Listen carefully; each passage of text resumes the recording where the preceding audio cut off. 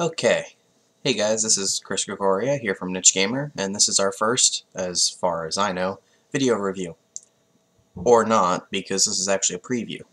Mordheim City of the Damned is the game in question, and it's currently available on Steam as an early access title. Anyway, as you can see, I've recorded some gameplay here, and I'm playing as the Human Mercenaries warband up against the Skaven. I've jumped right into the middle of a fight, barely a few turns in. The area this skirmish is taking place in is really simple, because the two warbands started right across from one another, as per the spawn settings, so this one really quickly became just a straight-up face-off right in the middle of the stage. So, as the game is early access right now and not fully released, a lot of the promised workings of the game, like permanent injuries and shops for example, have yet to be added. However, even with the very basics of what they offer right now, the game shows some serious promise. Now, as it stands, when you start up the game, you pick from three available warbands, the Human Mercenaries, the Sisters of Sigmar, and the Skaven. The fourth warband available will be the Cult of the Possessed, although it's not been introduced yet. From there, you have two options available during the early access. You can customize your warband or play a skirmish. Customizing the warband is where the real fun will be when everything else is added, but right now it's just able to give a taste of what's to come. For now, you're able to change weaponry and the type of armor your units have equipped, each of which confers various bonuses to certain aspects of that unit. A shield allows you to use block stance, an axe ignores armor, it's that sort of thing. Right now, the shop and everything is still closed, though, so there isn't really any growth for your warband over time yet. But you can still set up a warband designed to focus on certain things, like tearing through enemies' armor or defensive abilities and heavy armors. During the early access, the skirmish is the only available game type right now, but it's running incredibly smoothly as you can see. Despite my own occasional movement screw-ups and control mix-ups, the battle still runs great. Of course, things will change greatly between now and the actual release. For example, you can throw away your units right now since you don't have to worry about the permadeath, but you will. In the meantime, though, the gameplay is solid and working very well. I was dubious of the whole game at first when I had heard about it because it's hard to make a tactical video game with the freedom of tabletop-style games. It's been years since I've played any form of Warhammer, but I loved the freedom you had for positioning and line of sight.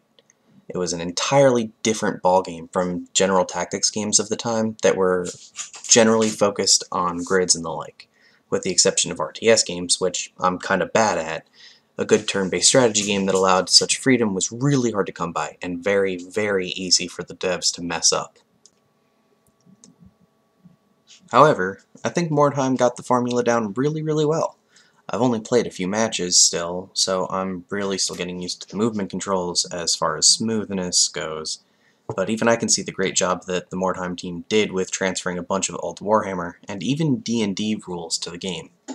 For example, the threatened areas, stopping opponents from walking by and such, are really well implemented here, and it's a rule that really adds a strong layer of strategy that many other games lack. I mean, be honest, how many strategy games allow you to actually block off a entranceway or something along those lines without the use of a grid?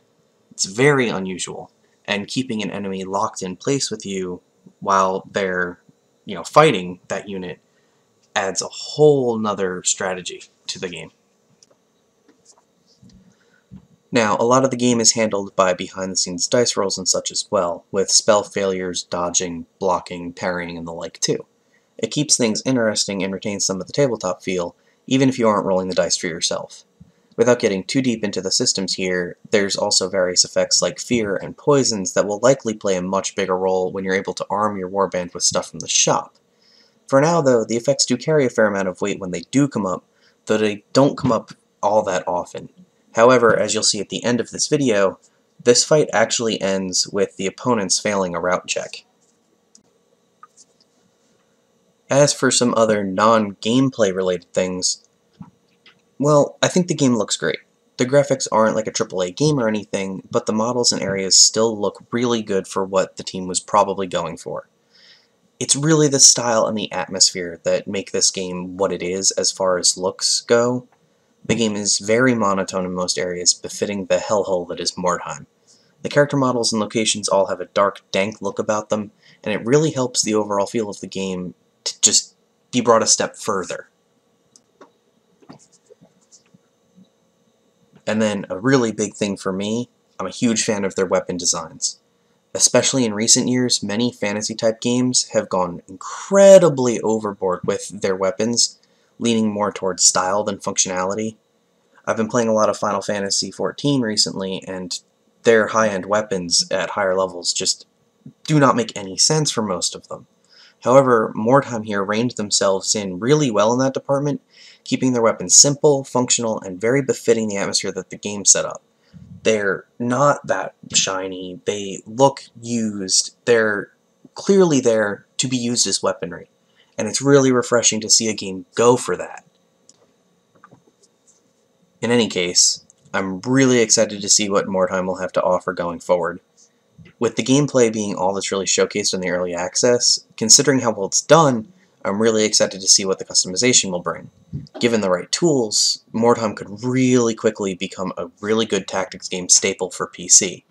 The team here has done a fantastic job with what I got my hands on in the early access. Now they just need to keep up the good work.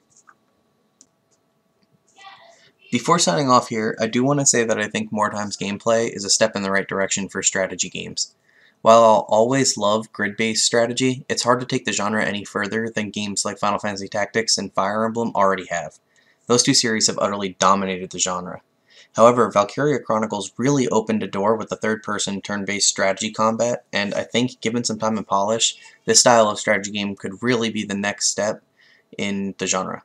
Mordheim is an excellent second step in the direction.